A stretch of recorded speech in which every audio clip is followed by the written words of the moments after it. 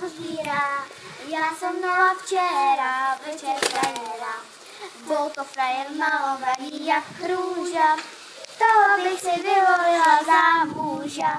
Ani bych mu robit nedala, jménem jako růžu bych ho chovala.